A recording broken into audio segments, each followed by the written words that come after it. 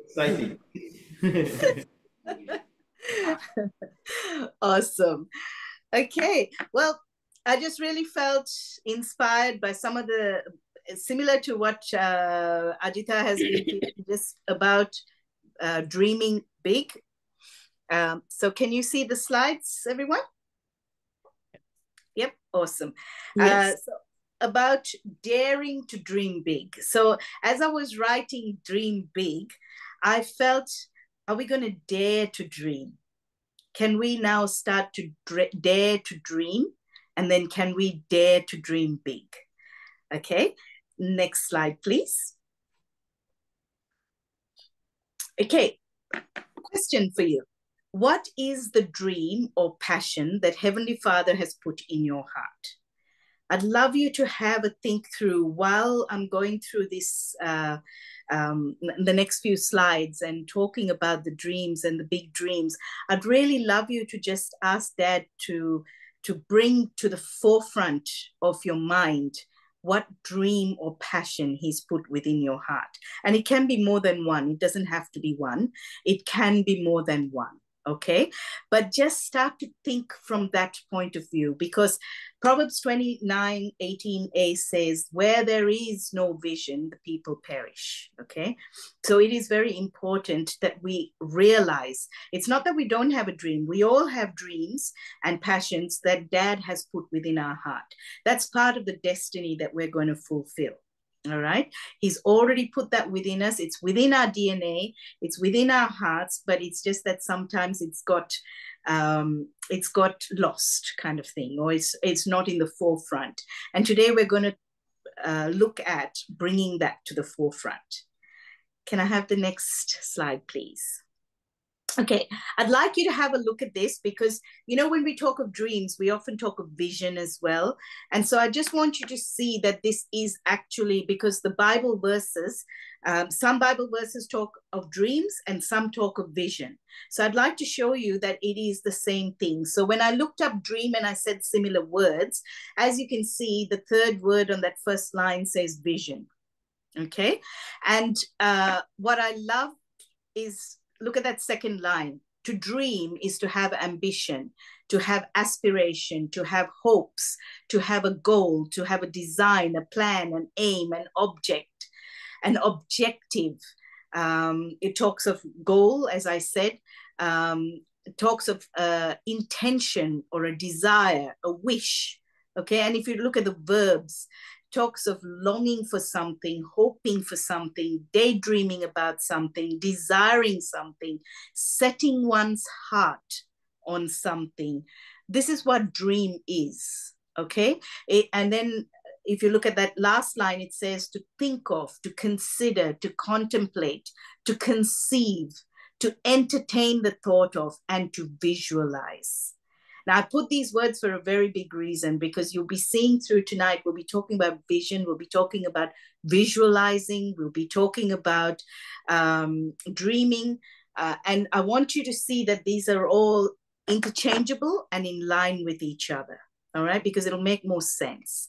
All right, next slide, please. A vision. Vision is the ability to think about or plan the future with imagination or wisdom. Okay. Vision is the ability to think about or plan the future with imagination or wisdom. A dream is a cherished aspiration or ambition or ideal. Okay. Next one, please. Now, before I go to these five steps, when I said, What is the dream he's put in your heart? I'm just going to give you a few examples because while I'm going through this, I really like you to uh, ask the Lord to drop in your heart and bring, bring to the forefront if you don't already know what your dream might be. It might be a book. It might be kingdom songs like Ross does. Uh, and Ross, it doesn't have to be your only dream. There might be others too. It could be a cause to set children and women free from being trafficked. Um, it could be to see changes in governing in the government sector. It could be to influence the education system or the media system or the law system. there's so much. Our dreams become our purpose, our passions become our purpose. Yes, Jano, you wanted us to go back to the last one? Okay, could we go back to the last one, please? The one before. Okay. Awesome. Done? Thank you. Yep. All right, no problems. Um, could we go two forward, please, now? Oh, no, sorry, one back. I'm playing with you. Sorry. Five steps to accomplishing your dreams. I'm going to go through five steps. And uh, so, number one is to imagine your dream. Number two is to write your dream. Number three is to visualize your dream. Number four is to speak your dream. And number five is to act on your dream. And there are scriptures for each of these. Okay. Next slide, please. So the first one, imagine your dream. And this is the verse that has come up more than once today. Ephesians 3, chapter 20, uh, sorry, chapter 3, verse 20.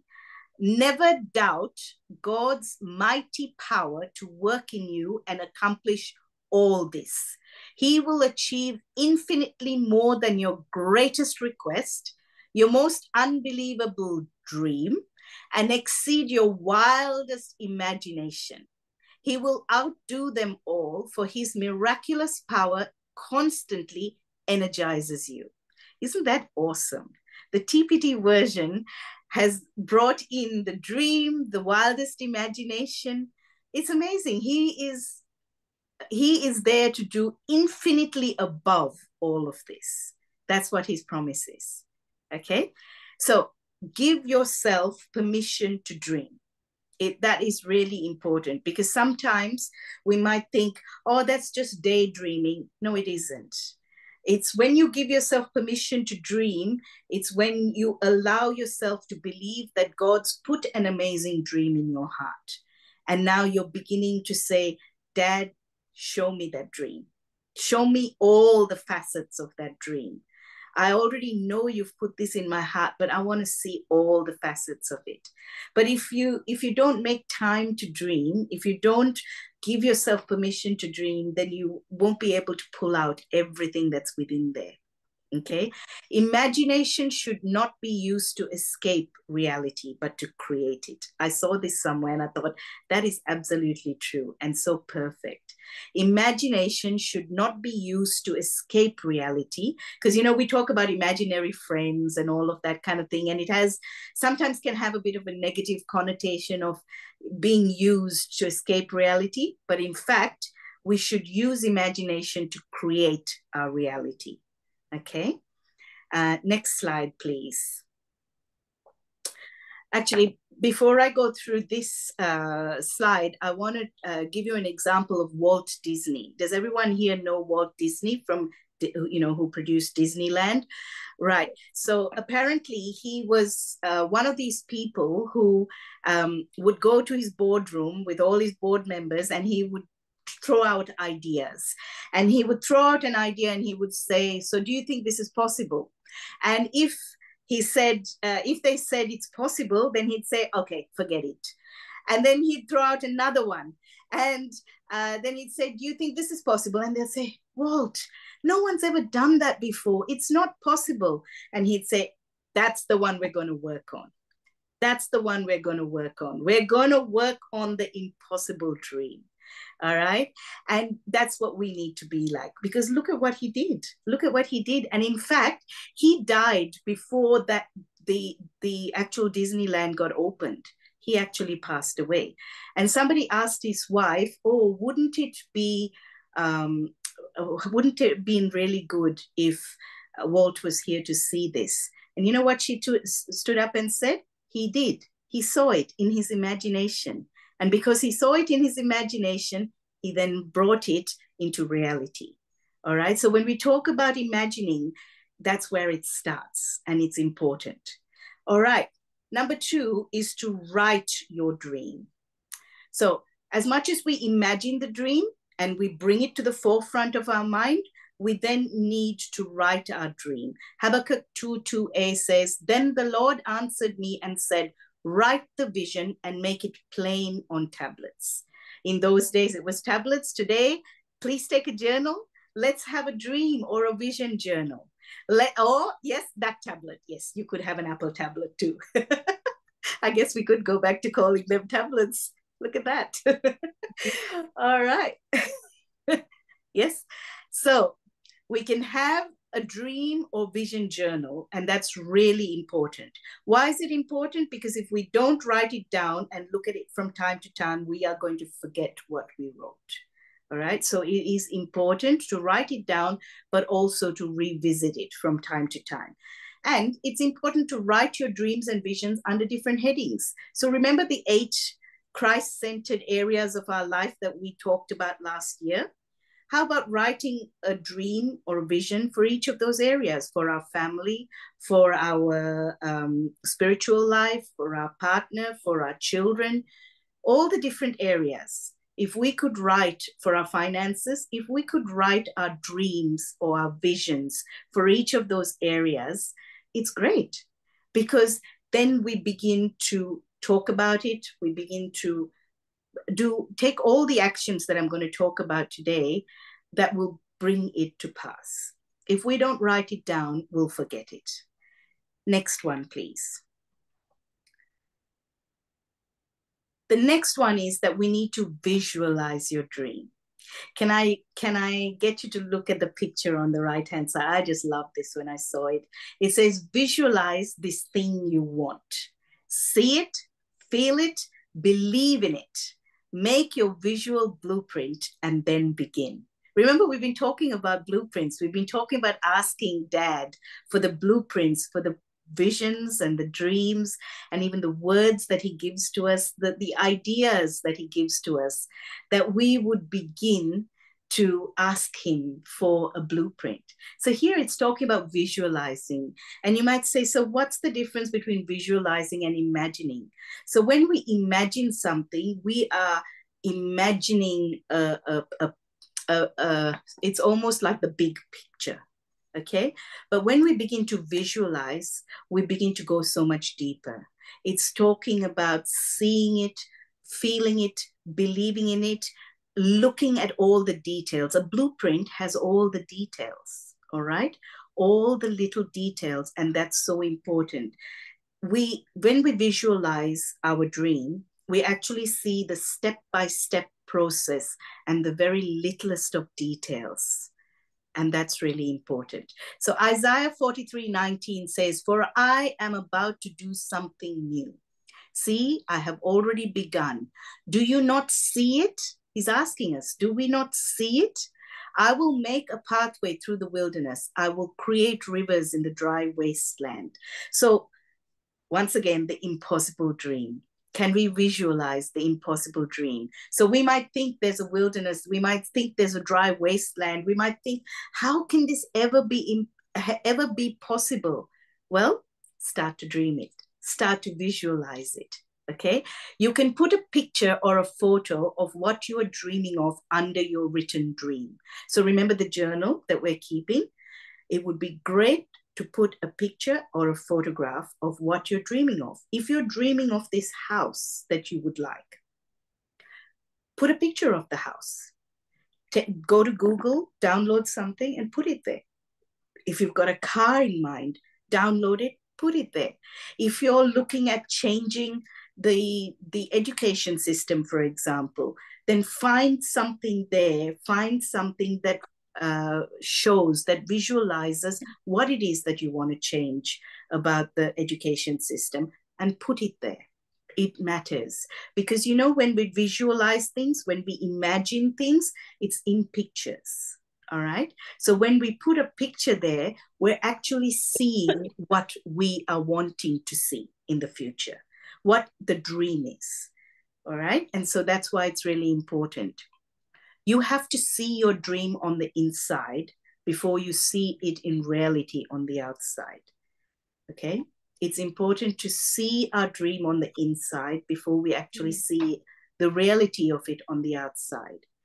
Visualizing outcomes that you want can increase your confidence. So if you visualize it in here, it actually begins to uh, increase your confidence because it becomes possible. what seems impossible becomes possible. Seeing yourself succeed helps you believe that it can and will happen. Visualization helps you practice success. When you imagine every step of an event or activity going well, you get your mind and your body ready to take those steps in real life. So I heard of a story of a famous swimmer, and I've his name's just missed my mind at the moment. But when I um, get it, I'll put it in the group if I don't remember it before the end of this. But apparently, before he would go, he, he won so many trophies. He was number one, and he was out there. And bef- what he would do is his coach would tell him to go and play the video of his success. And you know what the video of his success was? It was that he would go home and he would replay everything that he had played in, uh, uh, he had replay everything that he had done in that particular competition or in the in the practice that he had for the competition and then he would replay it again but this time the way he would have liked it to go every little bit, planning for every eventuality. That if someone happened to swim into his lane, what was he going to do about it? If his goggles broke off, what was he going to do about it? All of that right down to the end. And when he's when he got into the pool, his coach would say to him just before he started the swim, remember the video remember the video. And what the video was, was just replaying in his mind the successful scenario, the one that he had visualized over and over again. And that really helped him. So it's important to visualize what it is that you're dreaming of. If you're dreaming, if your dream is to set up, uh, is, is to write a book, let's take that for an example. Your dream is to write a book that would share kingdom uh, truths and kingdom revelations that would bless so many, then start to think about what you're going to be writing. Start to think about what all, all the areas that it's going to cover. Start to think about even what the cover is going to look like. Start to visualize it because imagination and visualizing is in pictures. Okay. Next um, slide, please.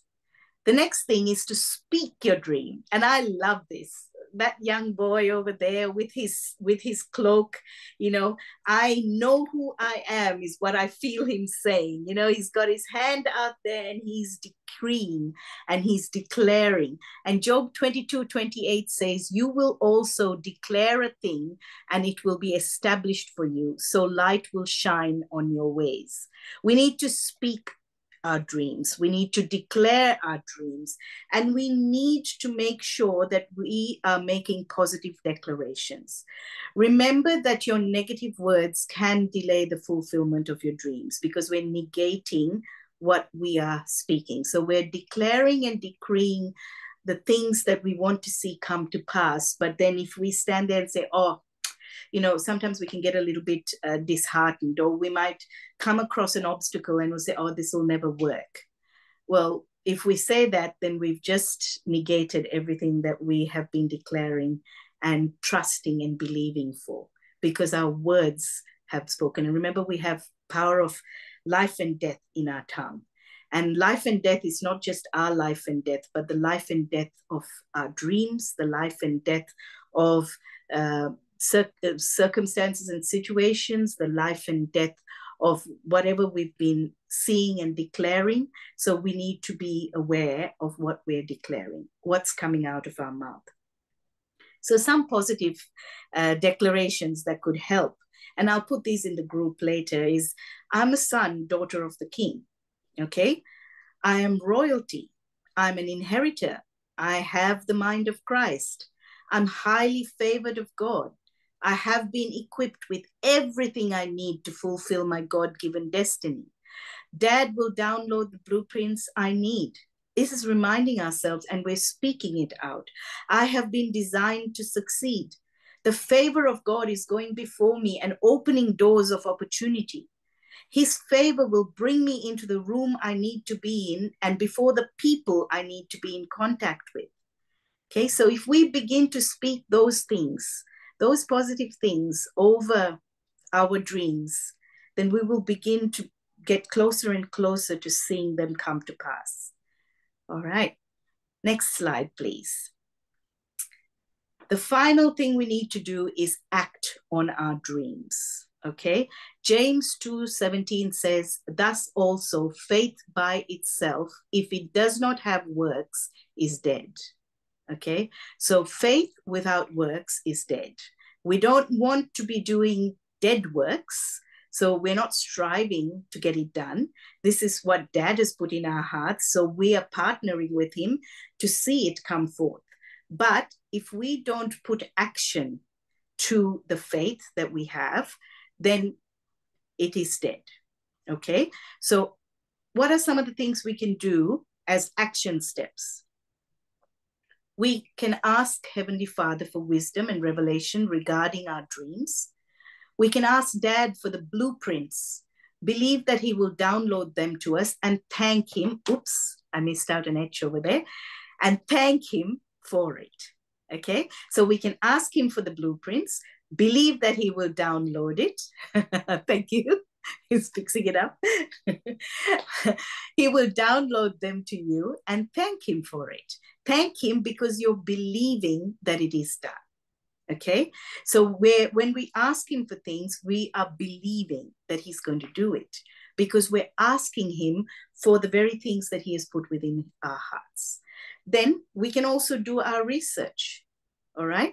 For example, if we're believing um, that we want to see some kind of change in in one of the mountains of influence like education or media or uh, in the area of law or any of those kind of things we might need to do a little bit of research to see what's been done so far what can be changed how we're going to change it who we need to meet with to be able to make these changes all of those kind of things. It's just preparation okay?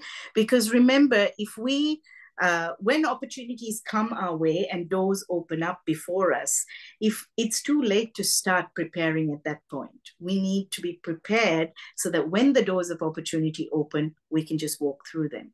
So, for example, if, if our dream is to write a book, then we need to actually go back, sit down, and start writing the book, right? If it is to publish a book, then we need to start writing the book. We can't just sit there and say it's all going to get done for us we know that dad's put that passion or dream in our hearts so he's going to download the blueprints for the book but we need to actually sit there and write the book. And that's the preparation part. And the part where when the opportunity opens up for our book to be published or for the book to be used in in some area to to bring change in that area well the book's ready. It's ready to go. Okay and that's where the preparation is. If we we uh, if the dream is to write a song, then we need to actually start to write the song. We need to ask dad for the blueprints of the song. Um, if our if our dream is to go to another country and see change there and actually be the change there to bring some kind of change in there, then we need to apply for our passport if we don't have a passport. Do you see what the parts that we need to do are? It's about taking actions as if we are already doing it. We begin to praise Him and thank Him for those dreams even before they come to pass. That is faith, right? It's about um, the hope of things that we have not yet seen, right? And I love this on the right hand side. Um, yes, it takes courage to act upon your dreams. It does take courage because sometimes the dreams are so big. But remember, if the dream is not big enough to to scare you or to for you to turn around and say oh my gosh that's too big for me then where then we can achieve it in our own strength and we don't need god for that. But we need to believe for impossible dreams. We need to believe for those dreams because the dreams that dad's put in our heart are big dreams. They're not tiny. They're not tiny. They're big dreams.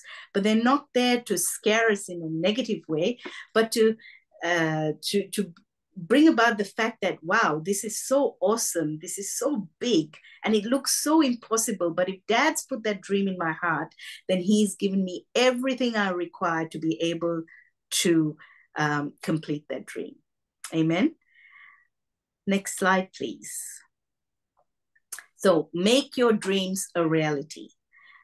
Look at getting a goal setting workbook where you just sit down and write. So, when we talk about goals, we're talking about not just goals that are, um, you know, that are just out there, but it's actually the dreams that we set up as goals because we need to start working towards them. And remember, last year we talked about goal setting and how we need to make them smart goals.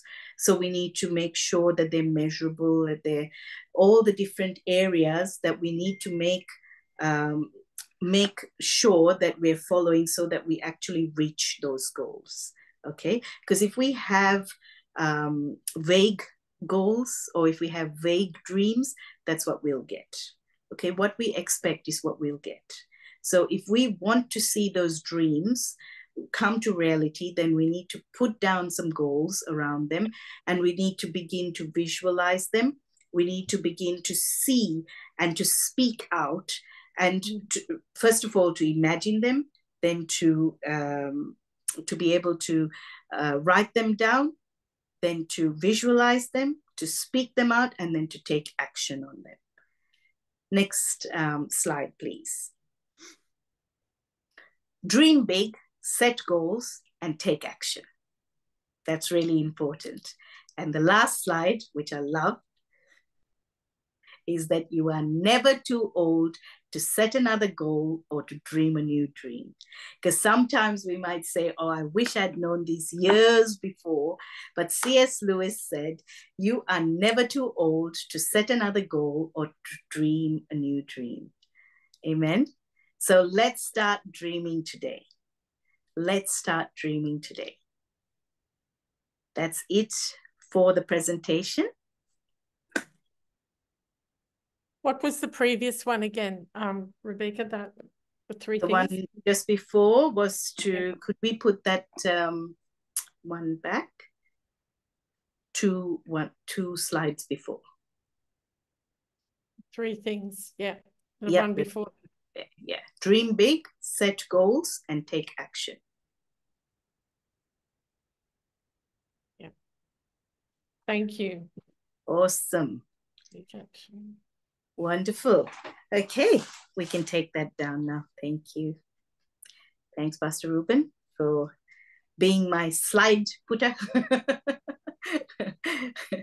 uploader. Thank you. Awesome. So I'd love to hear your thoughts, and I, I, it, it must not stop here. So between this week and next Wednesday, what I'd really love us to do is to actually sit down, sit down with Dad, and ask Him to bring to the forefront of your memory and your heart one to three dreams. Now, if you only come up with one dream, that's all right. One dream, one passion, no problems. If you come up with two, that's great. If you come up with three, that's wonderful. If you come up with more than that, that's okay. But start with one at least get one because next week we're going to work on those. We're going to start to look at them in more detail because you know what? One of the things that we've always talked about with discipleship is if it's just information and we don't do anything about it and there's no processing, then it, there will be no transformation. Okay. And this is not something about just information. We want to see it come to pass in our lives. Amen. How many of us want to see our dreams come to pass. Yes. For those who have got their cameras on, I can see the hands. For those who haven't got your cameras on, um, yes, if you can put an emoji or if you could put in the chat group the word yes, that would be great.